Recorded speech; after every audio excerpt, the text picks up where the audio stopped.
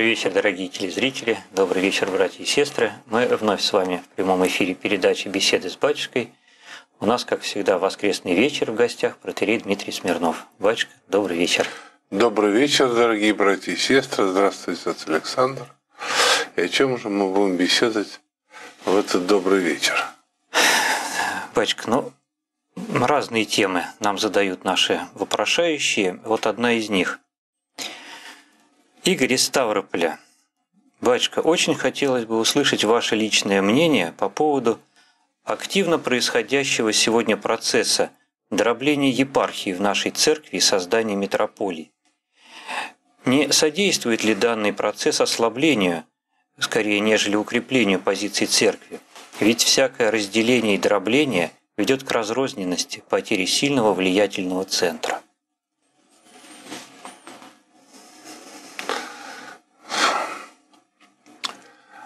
А не способствует ли ослаблению армии, когда увеличивается количество дивизий? И не способствует ли ослаблению церкви увеличению количества храмов? Это... А не способствует ли ослаблению церкви, когда храмы эти появляются в тех местах, где уже 80 лет храма не было?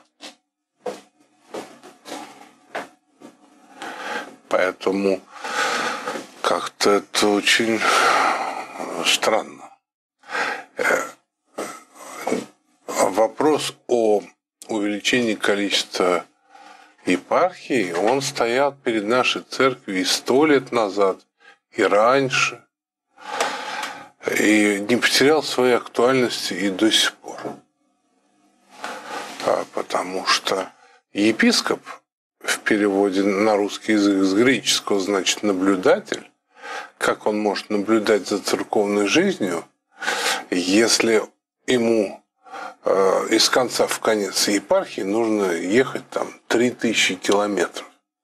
Это, так сказать, трудно себе вообще представить. И откуда брать просто деньги на эти переезды? С приходов? И так далее, и так далее. Поэтому и еще, отвечу еще одним вопросом. Неужели а, вот святейший патриарх, а, святейший синод, архиерейский собор а, каким-то образом а, заинтересованы в ослаблении церкви? Такой вопрос. Потом еще можно задать вопрос, а, что а вообще, что такое ослабление церкви? Это интересно так вообще. Ну, а после этого последний вопрос. А что такое церковь? И вообще, чем она сильна? Это, наверное, был первый был вопрос. Ну, я так, э, ну, ну, пока соображал, что отвечать, а, потому что вот почему-то всегда а вот у человека, задающего вопрос, презумпция того, а, что он как бы прав, а другие люди, ну, помягче скажем, неправы. Ошибаются. И так относятся даже к священному писанию. А вот написано, потому что он Разве думает, так может быть? Ну да, он думает, он первый вообще э, за 2000 лет, а если Ветхого Завета касается, то за три с половиной тысячи лет вообще читает Священное Писание, и вот прям его осенило, а там все вплоть до Иоанна Златоустова, который вообще наизусть знал Ветхий Завет, а вообще ничего никогда не видели. Вот такой подход, он, конечно, он, ну, по-своему, очень мил, но как-то уж очень наивен. Поэтому надеюсь, что человек вопрошает именно от недоумения и, может быть, от малознания. Ну, недоумение, ведь э, святейший патриарх многократно это изъяснял. И э, в своей манере он это делает, когда делает понятным вообще каждое слово. Логика вообще безукоризненная. И композиция его выступлений, она такова, что кажется, что он вообще читает крупными буквами. Вообще непонятно, как можно так быть таким ритором. Это, по-моему, ну, достичь этого как-то какими-то тренировками просто невозможно. Говорю как специалист, который занимается тем же самым э, больше 30 лет. И опять.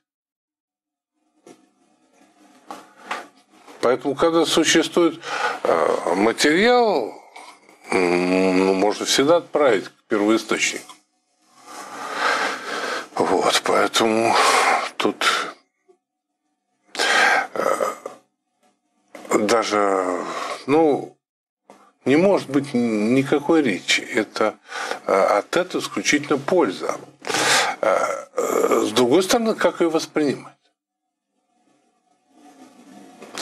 Потому что если у нас задача это проповедовать Слово Божие как можно большему количеству людей, тогда надо, конечно, расширять э, количество епархий, безусловно. И я, например, очень рад, что это делается очень быстро. Э, и видны просто плоды этого. Это заставляет сама, сами эти обстоятельства понуждают э, всех ну, активнее включаться в эту, эту жизнь. Не спать, а действовать. Ну, действительно, когда епископ имеет возможность посетить приход не один раз в год, а... Ой, да, один раз в год это шикарно. Ну вот представь себе, наша московская епархия, ну, я имею в виду областная, полторы тысячи приходов или больше даже. Я думаю, 1600 э, есть, но это вот Владыка Виналий э, больше знает. Э, и, ну, как один архиерей может посетить в год? Нереально. Поэтому у него есть и викарии, которые посещают. Но чтобы наблюдать за процессом, и э, вот, ну, действительно им управлять, а, ежегодное посещение, но это самый минимум миниморум, который только вообще возможен. Но это должен архиерей ездить, а лучше сказать, носиться, как белка в колесе. И это вообще нереально. Поэтому дробление епархии – это благо. И в каждой стране. Э, вот Греция. Там архиереев, по-моему, 70 человек, если не больше.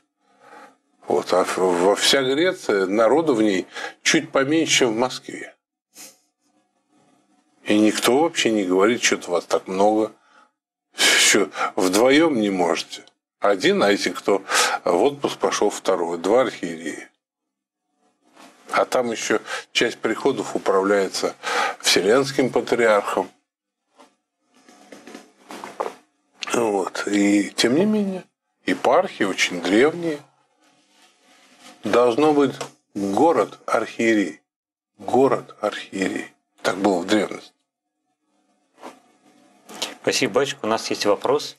Добрый вечер. Здравствуйте. Добрый вечер, Константин Крым.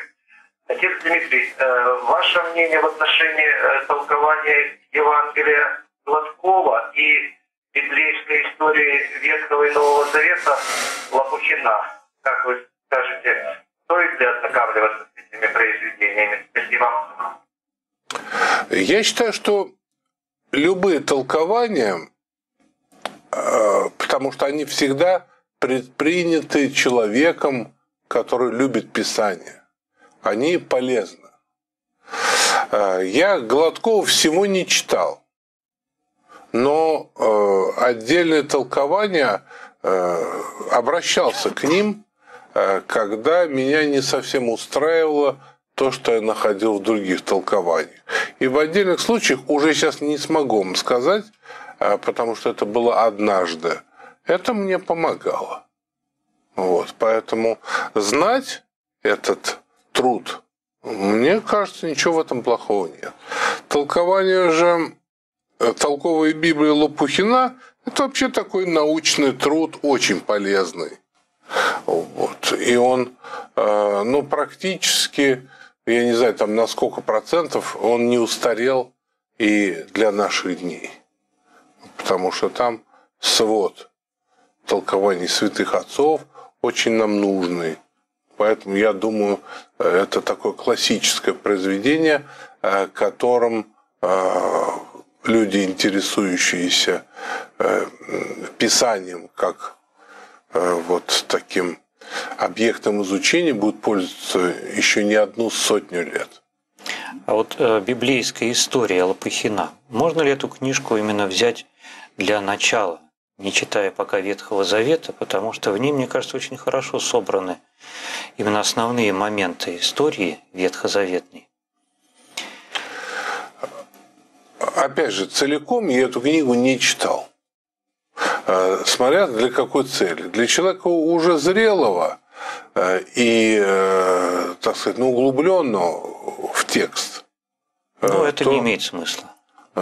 Нет, все равно нам имеет смысл. Для человека совсем начального сложновато. Вот для современного человека. Поэтому тут надо вот смотреть, как пойдет. У нас есть вопрос, батюшка. Алло, слушаем вас. Алло. Здравствуйте. Здравствуйте, добрый вечер. Добрый. Я бы хотела узнать, что такое тайное едение? Тайное едение – это когда человек что-то ест в одиночку, старается делать так, чтобы другие не видели, потому что этого, того, что он ест, мало, или это очень вкусно. Делиться Поэтому не хочется. Не хочет делиться. Вот э, это вообще-то для христианина неприлично. Это скорее вот детям свойственно, когда что-то мало. Да. А ведь точно попросят сейчас. так, в уголочке скромненько. Ребенок все время врет. Объясняем, убеждаем, наказываем. Не помогает. В чем причина детского вранья? Как можно изменить ситуацию? Скорее всего, на него сильно кричат. И он, чтобы себя защитить, вместо того, что было, придумывает ситуацию, в которой ясно, что он вообще, ну, просто как ангел. Но вот часто бывает, что и не кричат, и наоборот просят. Давай по-хорошему, давай честно. Никто тебя наказывать нет, нет, не будет. Нет. Это вот то, как ты сказал, и что ты сказал, уже свидетельствует о том, что уже этот какой-то шаг был сделан. Уже много раз его укоряли и так далее. То есть это уже совершена педагогическая да, ошибка. А, ошибка уже утвердившаяся. Тут нужно уже э, ну, такая работа длительная. Вот как раз э, чем можно изменить эту ситуацию? Каким образом можно вот ее повернуть вспять? Ну, э, здесь гораздо эффективнее. Ну, во-первых, можно обратиться к психологу. А есть э, такие, ну, игровые композиции, где вот эти вещи, они обозначаются и сживаются. Вот. А, и может еще помочь э, диалог, допустим, между папой и мамой об этом. В присутствии ребенка но играя в такую игру, что как будто папа и мама его не замечают. Знаешь, вот мама говорит, ты знаешь, вот, пап, меня беспокоит, что вот он все время врет. И начинает обсуждать. Э, ну, что, во-первых, все равно все вскрывается. То есть он врет зря. Мы огорчаемся, у нас просто отношения. А, то есть характер э, становится лживым, он будет неприятен людям, ему трудно будет жить. И вот это вот обсуждать, что посоветовать. А, ты, вот, тебя дома меньше бывает, вот как бы сказать, может быть, ты с ним поговорил. Вот как-то так. А потом через некоторое время, а, ты знаешь, сынок, вот садись, сделав паузу. Вот мама э, мне попросил, чтобы я с тобой поговорил. Ты случайно не знаешь на какую-то тему? На что ты по этому поводу скажешь? И вот если вот так, э, то э, вот это э, страх перед вот этим, что будут ругать, вот, он может потихонечку уйти. Ну и, конечно, когда ребенок ну, вот старается и исправляется, то нужно обязательно поощрять. То есть поддерживать его такое стремление. Обязательно. Ну дай Бог им помощи. Добрый вечер, мы вас слушаем. Алло, добрый вечер. Вас Доб- беспокоит Нижний Новгород, Ирина. Будьте любезны, разъясните вот такую ситуацию, тяжелую довольно-таки. Молодой человек уехал в командировку в другой город и там погиб. Нашли его в петле, сделанной собственного ремня, и стоял на коленях. Сейчас, вот сейчас ведется следствие, рассматриваются две версии – самоубийство и убийство. И вот в связи с этим у меня такой вопрос. Как сейчас за него можно молиться помимо домашней молитвы? Возможно ли в церкви подавать записки? Или до окончания следствия надо ждать?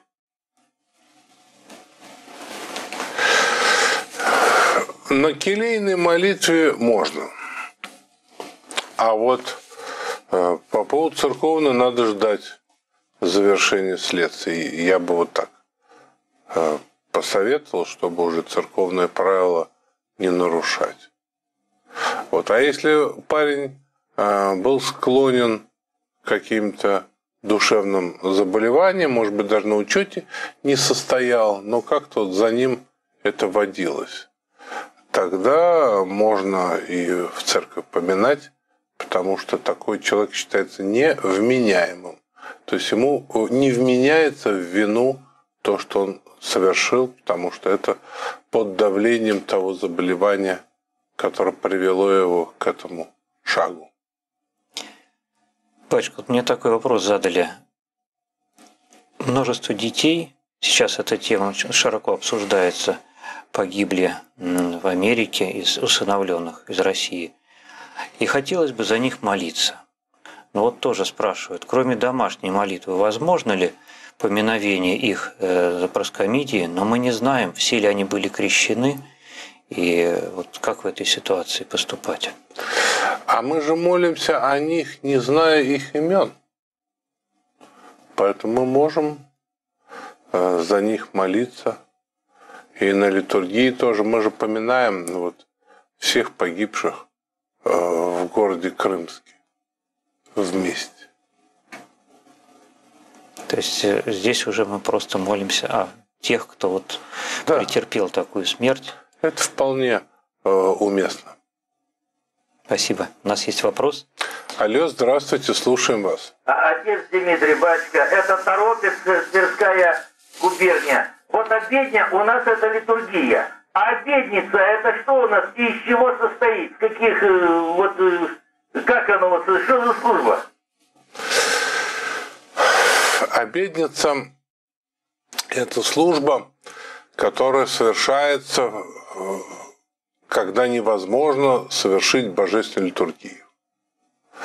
Это, там используют песнопение, э, антифоны, э, песнопение литургии без евхаристического канона.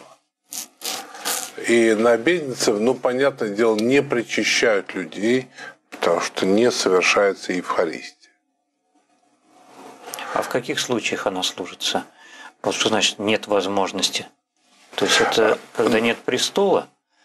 Или Нет престола, нет антиминца, нет благословения на совершение литургии.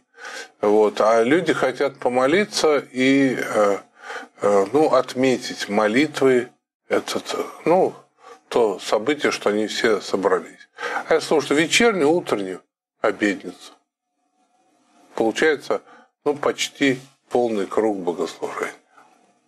Но, конечно, надо понимать, что обедница – это такое позднее образование, и она как бы э, существует, ну, н- некоторым образом отдельно от всего круга э, богослужения. И э, вот она служится вместо. Вот, понятное дело, не заменяя. Ну вот, например, э, можно применять обедницу, когда мы служим в воинских коллективах. Вот. Приехал священник с запасными дарами. И перед ним там батальон солдат. Он может не читать последования о том, как причастить больного, а совершить утреннюю, совершить обедницу и поисповедовать их и причастить святых Христовых тайн.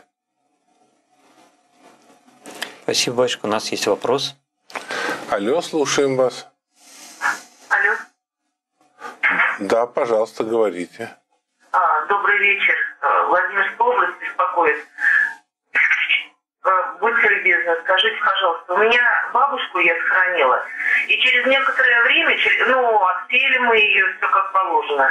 Я оказываю ей за упокой э, свечки, как бы в церковь хожу, поминаем ее. И вдруг узнаю, родственник говорит, что она была староверкой. И я даже об этом, ну, как бы и не знала. Вот что мне делать? Можно ли ей вечный помин заказать в церкви? И еще, батюшка, пожалуйста, несколько, два месяца назад у меня умер сын. Стараюсь э, за псалтырь, держусь за псалтырь только. Помогите мне, объясните, как читать правильно славу о здравии. Спасибо. А э, если э, человек умер, то читают о упокоении его души, а не о здравии. И там в псалтире есть порядок чтения. Но даже если вы просто будете читать псалмы, а потом молитву, которая расположена после славы, то этого вполне достаточно. Ваш первый вопрос был бабушка-староверка. Да. Ну, понятно, что вернуть назад эти события э, как нельзя. А, но э, понятно, что людей, не принадлежащих православной церкви, мы на проскомидии не поминаем. Но во время молитв о упокоении, даже в, в храме, когда идет, мы можем мысленно поминать и свою бабулю. В этом нет никакого греха. То есть староверы это все равно получается инославные, которых мы не поминаем. Ну, конечно, они э, э, отличаются. Это совершенно э, другое религиозное общество, хотя они, конечно, нам близки и ну, ну просто родные, так сказать, люди. Но все-таки очень серьезные отличия, которые делают это невозможно. Потому что ну, э, старообрядец человек, он же при жизни э, церковь нашу, он никак не признает. И в нее туда не ходит. Но и нелепо, если после этого мы, э, так сказать, его поминаем. То есть это его выбор. Он выбрал, ну, да, он так церковь его решил, внимает. Да, конечно. А тут даже ну, какое-то насилие получается. Но вот хочется оставшимся. Нет, я помянуть. это очень понимаю, но у нас же есть даже молитвы о отошедших э, в мир иной инославных.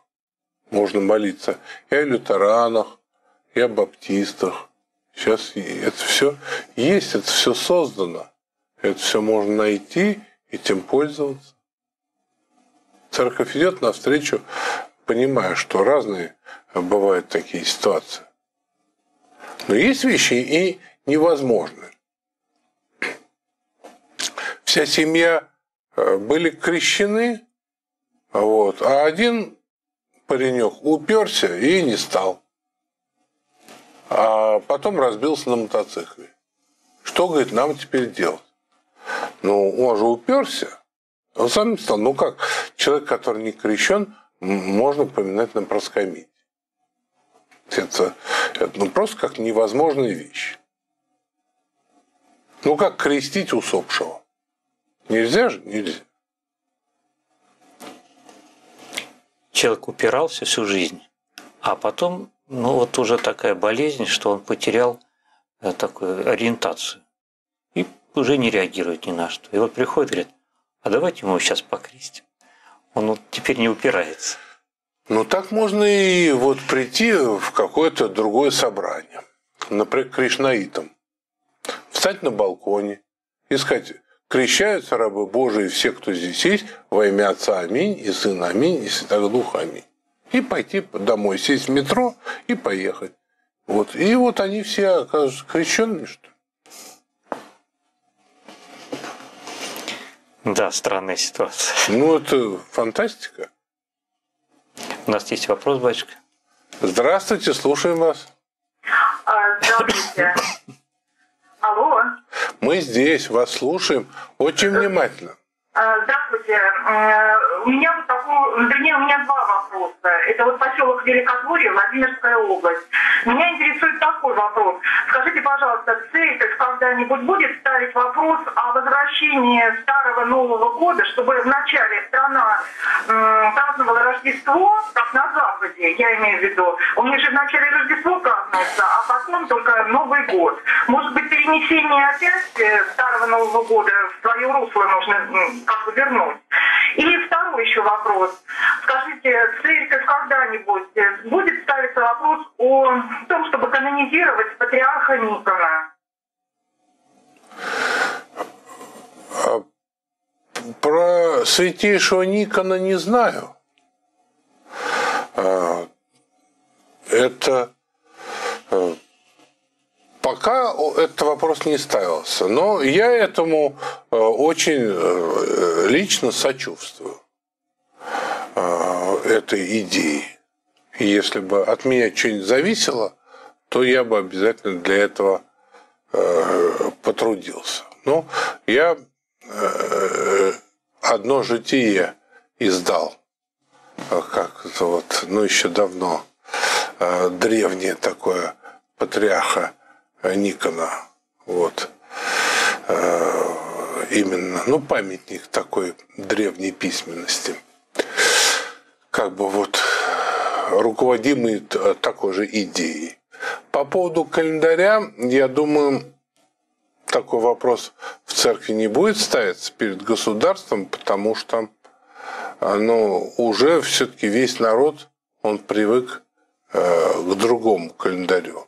А потом, вот для меня лично э, совершенно все равно, э, когда э, до Нового года, после Нового года, такого гражданского праздновать Рождество.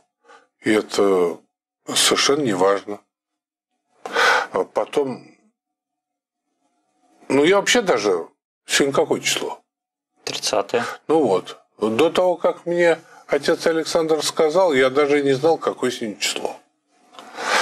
Вот, поэтому для меня вот, я отношусь к тем людям, про которых апостол Павел сказал, не наблюдают э, вот, э, ну, время. Для некоторых людей очень важно, и они очень хорошо помнят все даты.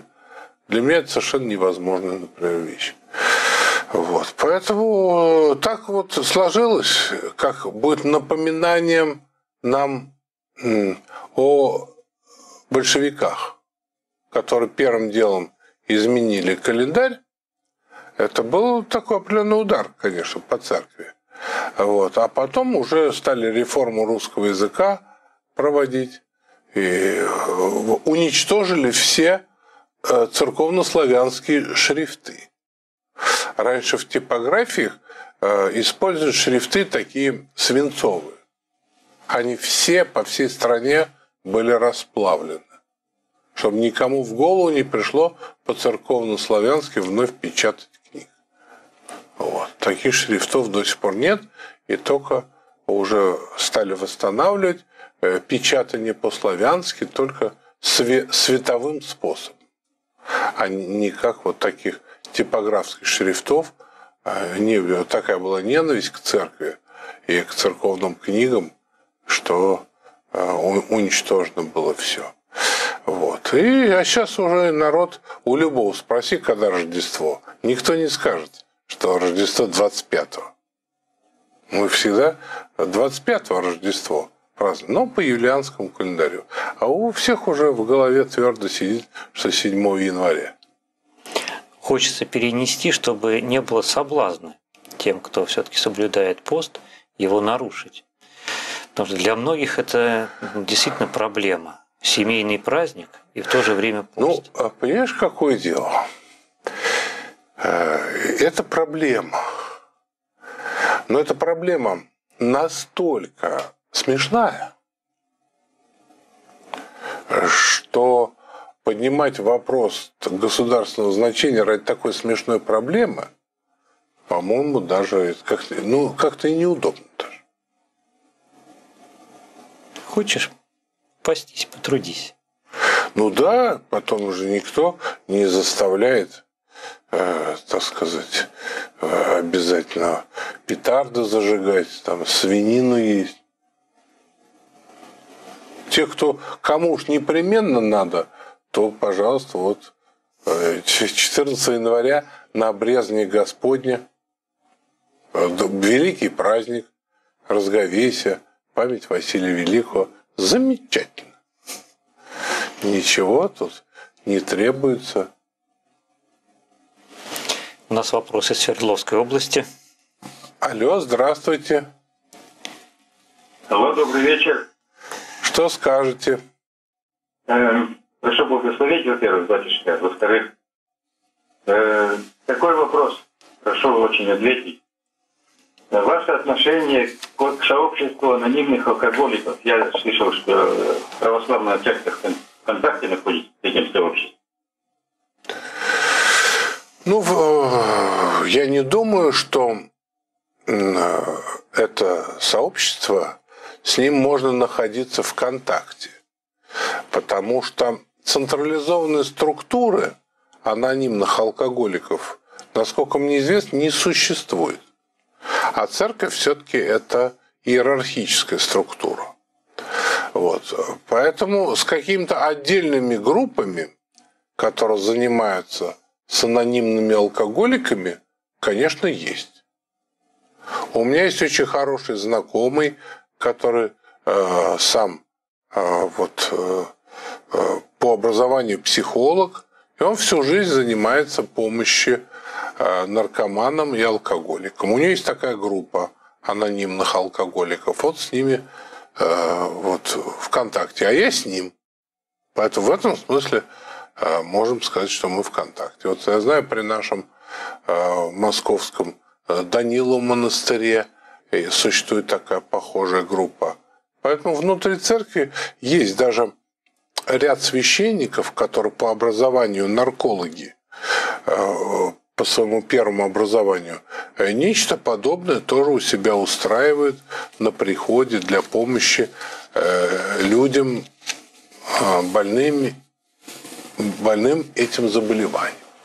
Вот. Поэтому те технологии пошаговые, которые используются при помощи наркоманам и алкоголикам, они также вот ну, церковью, кто хотел, изучены, и э, совместные есть э, программы и действия э, для того, чтобы помогать тем из болящих, которые решились все-таки как-то выздороветь от этого недуга.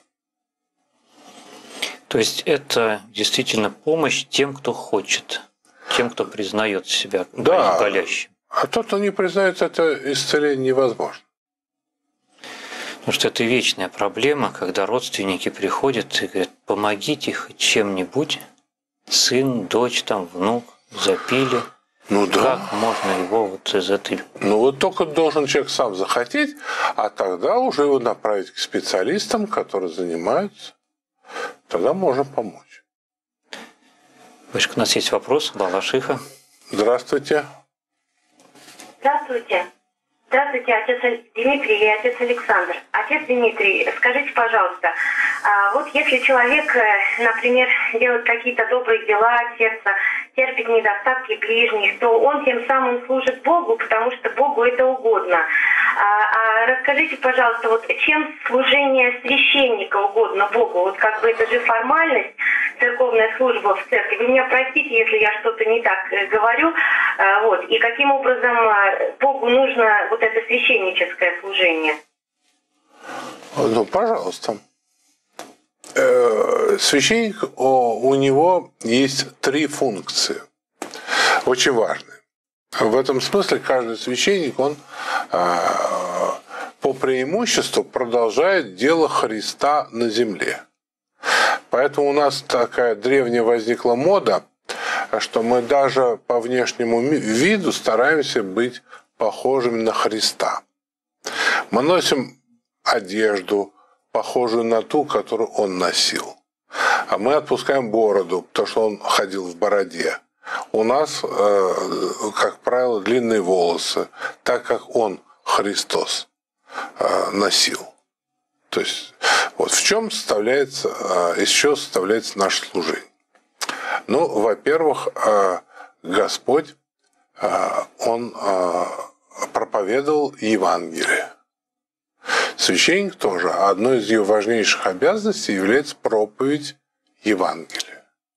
Поэтому священник, он должен быть евангельски образованным человеком. И он уже, во-первых, э, должен быть апостолом, миссионером и изъяснителем священного писания. А второе, священник Э, совершает таинства, которые э, заповедал Христос совершать своим апостолам. И самые два главных таинства э, – это Евхаристия, то есть священник возглавляет ту литургию, которую служат христиане, и за которой причащаются христиане святых христовых тайн миряне без священника, они не могут ее совершить. Поэтому, если нет священника, нет и церкви. Вот. И также крещение. Чтобы стать членом церкви, нужно принять святое крещение. Если человек был как-то крещенный, а потом отпал от церкви, то есть он может соединиться с церковью только через таинство покаяния. Опять нужен священник. Потому что священник может вязать и решить грехи человека. Священник тут э, совершенно необходим. А также священник, он должен быть для своей паствы, э, а паства являются все крещенные люди, он должен быть образом – а, то есть вот э, его семья. Поэтому у священников, как правило, семьи большие. Вот. У священника бывает одна жена. Вот. И, и священник учит своим примером и помощи ближнему. И вот то, что называется социальной такой деятельностью. Вот, он как бы так он должен, должен быть. Это не всегда, к сожалению, так бывает. Но по замыслу Божьему он должен быть таким эталоном для всех остальных. Вот и многие приходят именно ко Христу именно через священника, либо через его слово, либо через его пример. Поэтому роль священника, она, собственно, очень такая важная. Поэтому большевики, которые хотели уничтожить церковь, они взрывали не только храмы, не только уничтожали все церковные книги и иконы. Они поставили своей целью физически истребить всех священников. Им, конечно, это не удалось, какое-то количество осталось, вот, и епископов э, тоже – а, вот. И благодаря этому епископа посвятили опять новых священников из тех мирян, которые не убоялись стать священниками, и опять церковь возродилась. Спасибо, батюшка. Очень такой понятный, мне кажется, ответ. У нас есть вопрос. Слушаем вас. Здравствуйте.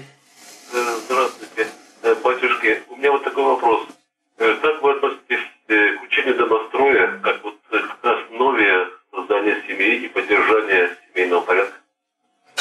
Как памятнику литературы XVII века, который очень интересен, его можно изучать. э, Он отражает те нравы и обычаи нашего народа, которые были там четыре сотни лет тому назад. Очень интересно.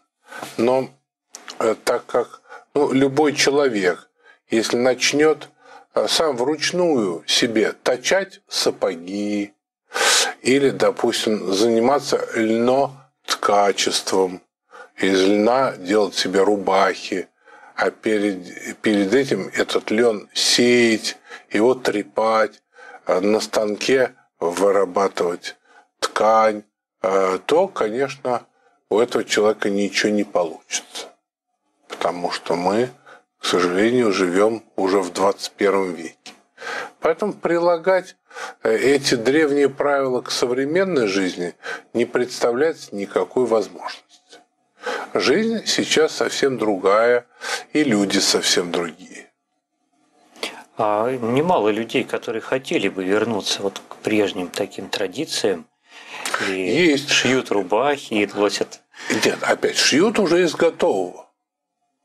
Ну, да, лен трепать сейчас уже никто Да. сам не делает. Конечно. Поэтому вот мне нравятся такие увлечения, когда вот э, люди э, ну вот, э, занимаются исторической реконструкцией. Там вот они играют в эти э, вещи там. Вот.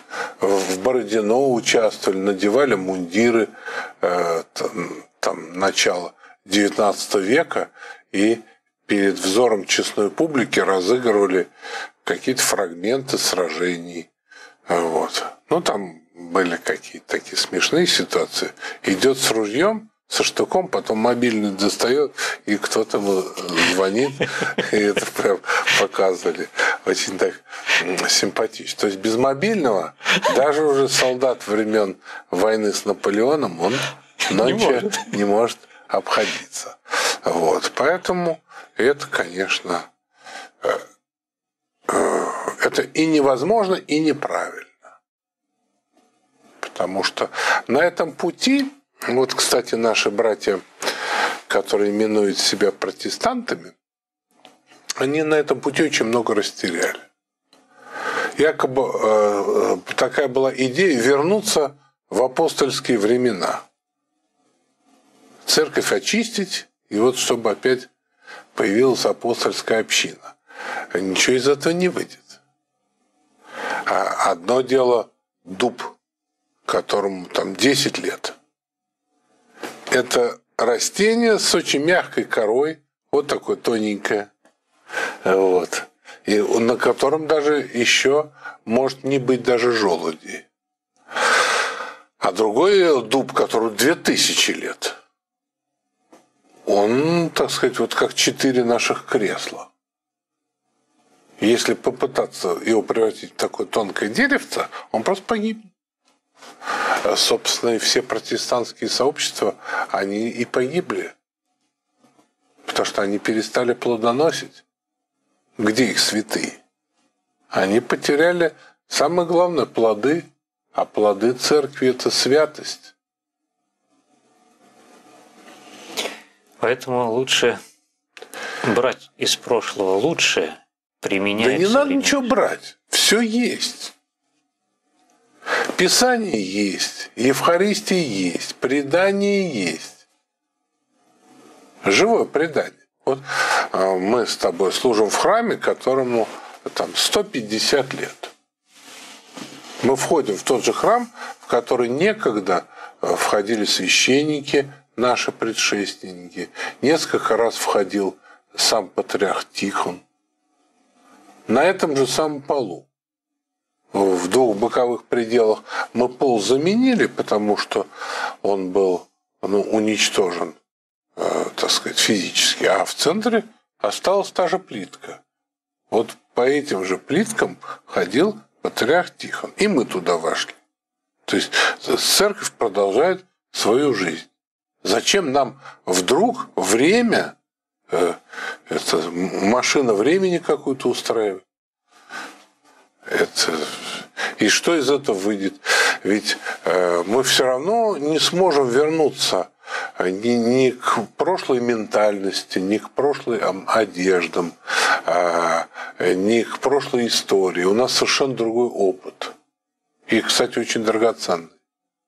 Опыт мученичества нашей церкви в 20 веке. Зачем же нам это терять? Нет, мы, как апостол Павел нам заповедал, забывая заднее, простираемся вперед. Церковь живет все время в новых условиях. Если бы э, сам святейший Тихон пришел бы к нам в воскресенье в наш Благовещенский храм, он бы страшно удивился. Как? Три литургии битком набито, да и все причащаются.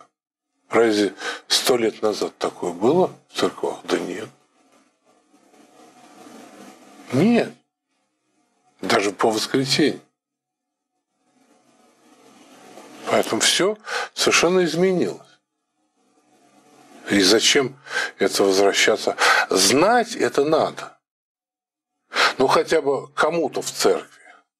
Недаром э, церковная история такая богословская дисциплина. Нам это очень важно как это было, как люди понимали, какие от этого остались следы. Тот же домострой, он очень интересен, что поп Сильвестр там написал. Вот, как это было. Э, но сейчас, но это все равно, что ну, взять, даже вот телеги современные, э, их ставят на автомобильные колеса. Практичнее, удобнее. Ну, практичнее, а потом ну, деревянное колесо. Его делать, это, я не знаю, целую неделю надо. Его делать из дуба, это там нужна и кузница, это очень серьезная процедура. А колесо вон пошел в любой шиномонтаж, там купил, и все, поставил да поехал. Подкачал. Спасибо, батюшка. У нас есть вопрос. Добрый вечер. Здравствуйте. Алло, добрый вечер. Добрый вечер, батюшки. Это Александр из Ростова-на-Дону. У меня вопрос такой. По поводу э, молиться о самоубийствах, э, о самоубийствах можно молиться келейно. Почему церковь не молится? Это получается, мы становимся выше церкви. А почему выше они ниже? А может быть сбоку? Что это вы там прямо решили, что выше? И потом, знаете, скажу вам, ну не по секрету, а так во все слышу, вот американцы, они вообще кверх ногами ходят. Понимаете? Они на другом там конце земного шара. Поэтому насчет выше, ниже – они американцы, они все там, до одного. И православные в том числе. Так что выше, ниже, это все как кому приснится. А почему церковь не молится? Для того, чтобы остановить людей. Потому что хуже этого греха нет. И многих это останавливает. Говорит, жизнь надоела, давно все закончил, но знаю, что тяжкий грех. А раньше еще самоубийц на кладбище не хоронили. А для людей это всегда очень важно. Э, как меня похоронен, где и так далее. И это не всех, но кое-кого останавливал. Также и с дуэлянтами поступали. Это такая церковная дисциплина, которая предохраняла людей э, церковных. А тогда были все церковные. Вот. А сейчас э, этого большого значения не имеет. Это поминовение, ну, больше для церковных сродников.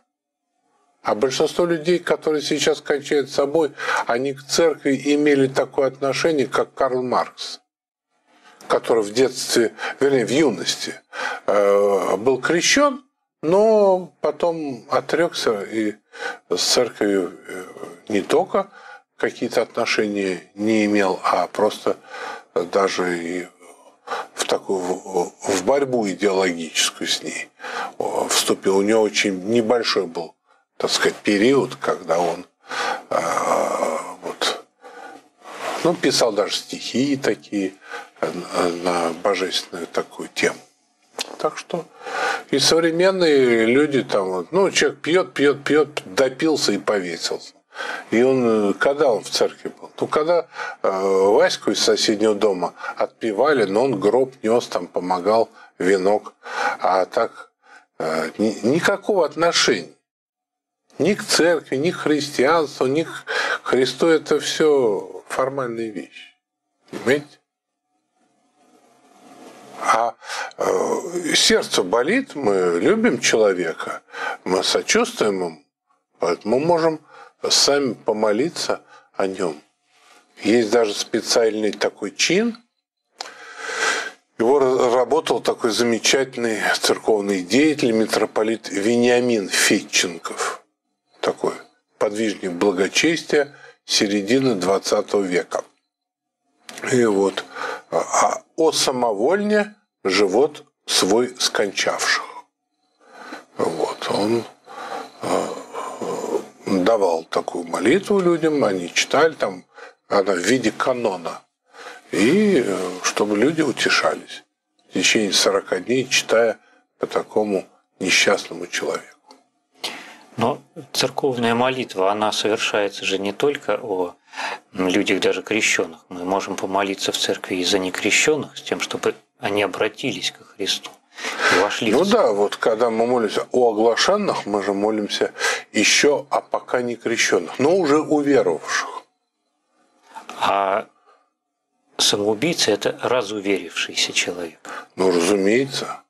Вообще потерял полное доверие к Богу и, как правило, вообще о нем не думает даже. Он один на один со своим проблемой. Ему даже в голову не приходит, что можно вот как-то Богу помолиться. Спасибо, батюшка. У нас есть вопрос. Алло, здравствуйте, слушаем вас. Добрый вечер. Я хотела бы узнать, вот э, почему мы обращаемся к Иисусу Христу, Богородице, ко всем святым на «ты».